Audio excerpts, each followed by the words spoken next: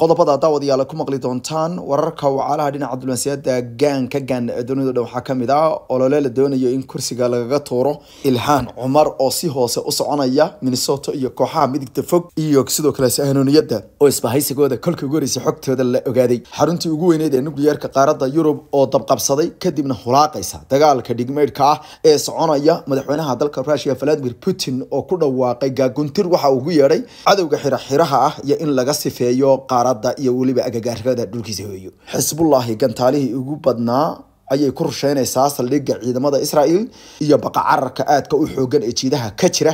Trabeelka wararka ayay ka mid tahay iska daa inay guul gaadhaan. Ciidamada saanooniyadu aad ayay uga fogtahay sidaasna waxaa ku dhawaaqay kuna tiraabaya saraakiishooda jiida dagaalka ku jira qasa toban bilood kadib dagaalka dhigmeydka aysan waxba ka faa'iidin maxamuud cabaas oo ugu dambeynta ogolaaday inuu turkiga gaadho xilli la aaminsan yahay in maraykanku ku cadaadinayo inuusan tegin waxaad kaloo maqli doontaan wararka wacalaha dhinaca diblomaasiyadda dunida oo dhan daawashana qiimaha leh waa sidee xaalka awoodeed ee yaxya sinwaar musaad oo warkii ugu horeysay ka keentay warwareyntooda iyo ninka loogu doondoonista badan yahay hadeerta uu noqday iyada oo loo arki karayo inuu yahay halyeega la holi waayey ee weli doonaya in dadka reer falastiin oo qoriga caaradiisa wax ugu gooyo. Waxaad kaloo maqli doontaan wararka wacalaha dhinaca diblomaasiyadda daawashana qiimaha badan dalalka reer yurub oo iiraan ka tuugaya inaysan weerarin israa'iil bedelkan ay heshiis qaadato. Haweeneydii dalka bangaladesh laga buriyey oo markii u horeysay soo hadashay iyo cidda ka turtay talada oo ay sheegtay.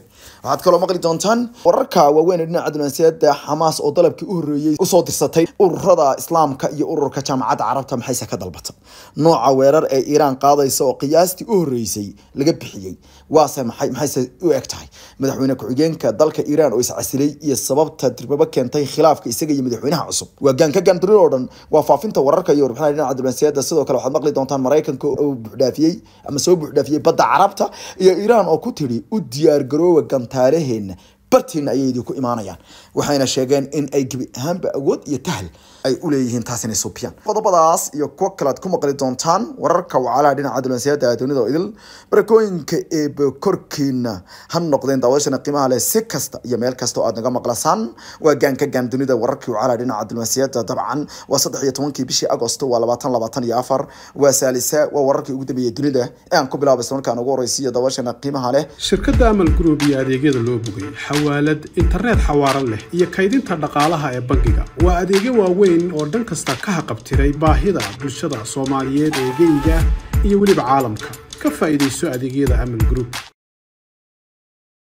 wararka ka imaanaya islamarkaana ka soo baxaya. Dhulka falastiin weli waxay sheegaysaa in nidaamka israel ay isku dayso inay cadaadis iyo dil u isticmaasho dadka. Kolkii ugu horeysay ayaa tirada abdhateka ee dadka dhimashadooda. Waxay noqdeen lix iyo toban kun afar boqol iyo konton iyo lix. Dadka carruurta ah ee dhimashada wadarta guud ee carruurta ah hay'adda dhinaca u qaabilsan qasa warbaahinta the government media office loo yaqaanay qasa ayaa sii daysay in ay maalintii saddex boqol iyo koob iyo tobnaad oo xalay ahayd ee dagaalka halkaasi ka soconaya ay ku tilmaantay barta telegramka ayay soo marisay inta weerar ee israel ay geysatay.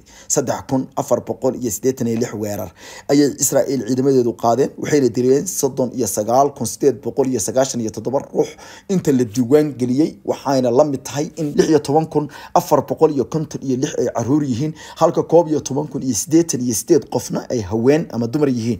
Sidoo kale waxaa la sheegay in sideed boqol iyo siddeetan iyo shan ruux iyaguna ay yihiin shaqaale dhinaca caafimaadka boqol lixdan iyo sideedna ay yihiin journalistiyaal ama wariyaal halka la sheegay in toddobaatan iyo sagaalla ay yihiin waxaa dhinaca difaaca xuquuqda dadka u dhaqdhaqaaqa iyadoo lagu tilmaamay in marka si guud loo eego tirada dadka ay israel ay leysay aysan ahayn ciidamada ay sheegayso inay dagaalka kula jirto ee loo arki karayo inay yihiin kuwa ururka xamaas ama urur rada kale islaamiga ee wax iska caabinta. Dadka reer falastiin ayaa la arkayay iyagoo saacadihii ugu dambeeyey adeegsanaya agabka bacaha si ay u ururiyaan meydkii ka dhashay goobtii weerarka aadka u culus lagu qaaday.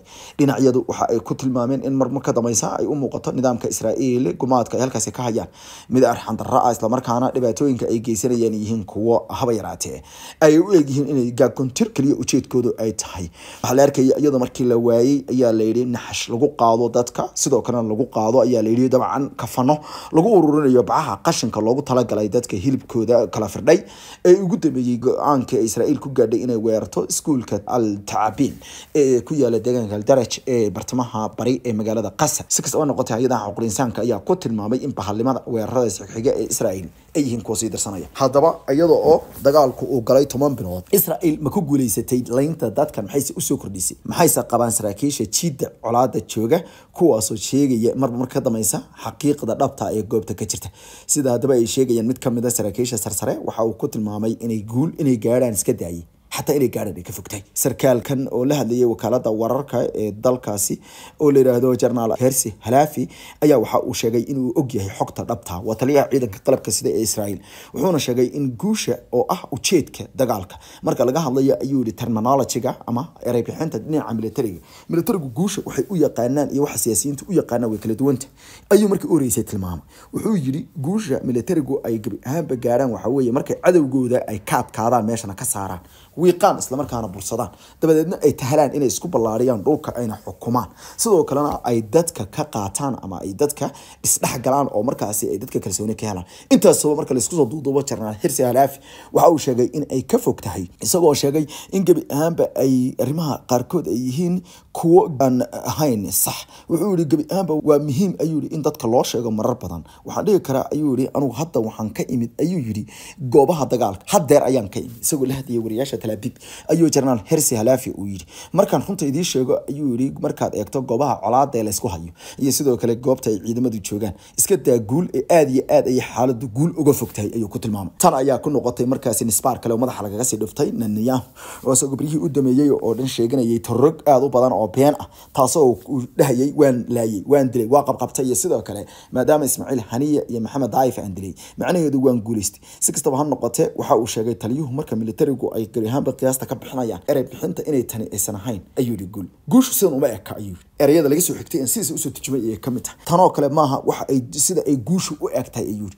Guushu siday u eg militarigu marka ay ka tashanayaan ama goobaha militariga lagu siinayo xogta tababarada maaha guushu sidan oo kale ayuu yidhi. Guushu wuxuu ku tilmaamay inay tahay isballaadhin iyo sidoo kale in ciidanku ay nasteen dhulkii qabsadeen cadowgoodii qabqabteen dadkiina ay markaasi hanteen. Wuxuuna ku tilmaamay intaasba marka la fiiriyo in ay ka fogtay wasoo hadalka udhigay mid ka mid a dhakhaatiirta dalka faransiiska ka socda ee marinka qasa ka howlgalaya pascal andre ayaa goortii horeysay waxa uu sheegay in waxa ka soconaya dhulka falastiin keliya la odhan karo hal erayna lagu soo koobi karo taasoo ah xasuuq iyo bili-aadinimo daro laakiinse aan cidina dhahi karaynin. Waxa ugu yeedha arrintaas dhinaca kalena vaticanka madaxa u sarreeya dhinaca warfidinta ee vaticanka kooxda la yaqaana ee diinta kirishtaanka uu ku sarreeya ayaa dowladda dalka iiraan waxa ay ka codsadeen inay qaataan nabadda madaxweynaha wadankaasi ayaa waxaa wacay madaxa guud ee arrimaha dibadda ee vaticanka oo ah kaniisada oo iyadu dal ahaan u diiwaan gashan waxayna ka codsatay in madaxweyne mascuud biseshekian maanta uu qaato boobka. Fariintiisu waxay ahayd mid iska cad islamarkaana bob francis waxa uu weydiistay dalka iiraan inay ka gabangaabsadaan inay weerar qaadaan waxayna dalbadeen in sidoo kale la joojiyo weerarada noocaas oo kale ah. Wasiirka wasaaradaha ugu dambeeya ee ka hadlay arrintaasi waa dalka belgium. Wasiirka arrimaha dibadda dalka belgium ayaa goortii horeysay waxay sheegtay in waxa ka soconaya dhulkaasi ay tahay duulaano iska cadcad kuwaasoo ay gebi ahaanba keeni doonto aakhirka u dameeya weer iyo wercelis waxayna sheegeen in dhibaatooyinka xoog kale oo dhan ay noqon doonaan kuwo sii bataa islamarkaana sii socda. Qeybta labaad dabashana qiimaha leh tirabeelka wararka dhinaca diblomaasiyadda caalamka